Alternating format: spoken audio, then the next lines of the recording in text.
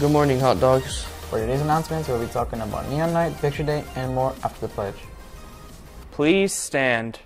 I pledge allegiance to the flag of the United States of America and to the republic for which it stands, one nation, under God, indivisible, with liberty and justice for all.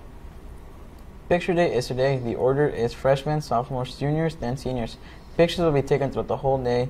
From grades 9 and 11, they will be taken in the auxiliary gym, and seniors in the collaboration space. Neon Night is tomorrow, so make sure to get your neon gear in the comments to help and support our hot dogs playing tomorrow. Don't forget that Heroes of Hope is this Saturday at 10 a.m. at the Clinton County Fairgrounds. For lunch today, lines 1 and 2 will be breaded chicken sandwich, lines 3 and 4 chicken breakfast pizza, and tomorrow, lines 1 and 2 will be mini corn dogs, and lines 3 and 4 hot ham and cheese. Now to the weather and sports with David and Avi. Thank you, Cohen. This morning it was 72 degrees. Today it will be a high of 84 degrees with the low being 72 degrees. Today it will also be cloudy with a chance of thunderstorms in the afternoon so make sure you cover up. And now to sports. Back uh, again on my YouTube set, but now on sports. Tomorrow night, the football team will go up against the Clinton Prairie Gophers. This game will be on the Hot Dog Network YouTube channel in partnership with the ISC Sports Network. The girls golf team traveled to Western Boone last night. Emily Shipley played well and shot a personal best of 40. Chrislyn Shipley also played well and shot a 54. Great job, ladies. Now on to tennis. Jake Swinford earned his first varsity win at one singles. Jake played a smart and level-headed match from beginning to end. Jackson Ray, Jackson Ray played in two exhibition matches, splitting the two matches one and one.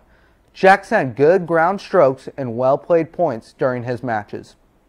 The next tennis match will be at home versus Western Boone at 5 p.m. on Tuesday night.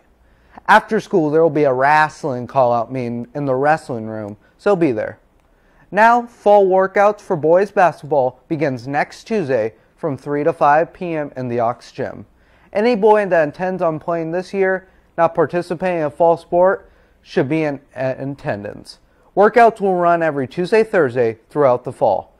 We'll begin promptly around 3 o'clock. Can't wait to see you all there. Plus, don't take any offense, I'm going to look like Dame and then the OKC Thunder at walk-off three. Now let's send it to AV Nice Flannel Hernandez for some girls soccer information. Hit it, AV. The Lady Hot Dog soccer team traveled across the river to open up Sagamore Conference play. The game was pushed to a 6.30 to help fight off the heat and turn the evening into a really good night for some high school soccer action. The game started out as a fast pace with Crawfordsville using a nice run after a long through ball to get the early 1-0 lead. After that, the Lady Hot Dogs controlled large stretches of the game and got some quality looks at the goal, but just couldn't quite capitalize. That all changed with about 15 minutes left in the first half when senior Mia Hernandez took a hard shot on the goal that the Athenian goalie blocked right back at Mia, who buried the rebound shot into the lower left corner of the goal to even the score with the Mitch made the halftime score 1-1.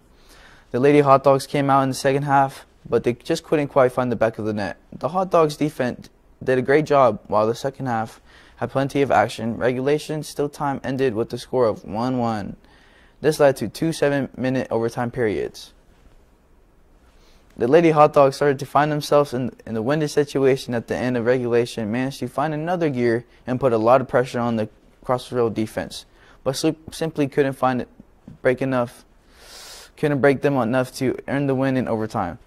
Both overtime periods ended with no goals, leading to a penalty shootout. There was a goal made by Vanessa Guajardo after making a clutch save on shot four to win the game for Frankfort. The win moves the Lady Hot Dogs to a 2-2 on the season and 1-0 in the Sagamore Conference action. Next up for the ladies is their own hot dog invite on Saturday. You better be there for real. Game one will be on the will be a rematch of the championship game from last year when the Lady Dogs beat Tri Central. Thank you guys. If you enjoyed today's announcements, make sure to like and subscribe for more. We hope you have a great rest of your day.